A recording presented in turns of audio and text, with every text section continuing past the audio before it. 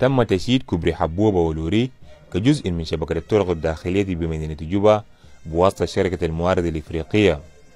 ولدى كوبري لوري العديد من القصص المأساوية لسيارات جرفتها المياه خلال مواسم الخريف مما أدى إلى مقتل العديد من الناس الأبرياء. والآن بافتتاح الجسر الذي يربط ولاية الاستوائية الوسطى وغرب الاستوائية كل تلك القصص المأساوية ستصبح من الماضي.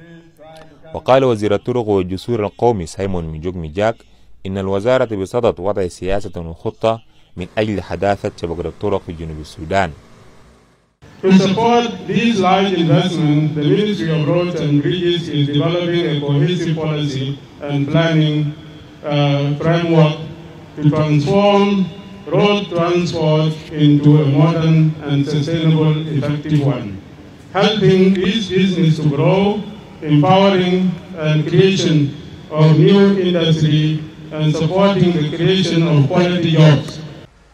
وفيما يتعلق بسلامة الطرق في كافة أرجاء جنوب السودان قال الوزير سايمون ميجوك ميجاك إن الوزارة ستقوم بوضع آلية للتحكم في حمولة المركبات The ministry plan to put in place for effective control of way bridges. The exit load, uh, people were saying when they are passing, you feel the, and uh, heavy load is passing, you can feel it.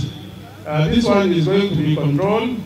تم استخدام تكنولوجيا إيطالية متقدمة في تشييد كوبري حبوبة ولوري مما يجعل هذين الجسرين من بين الجسور ذات المواصفات العالية في الإقليم وعمر افتراضي أطول من كوبري لوري تابان جمعة SBC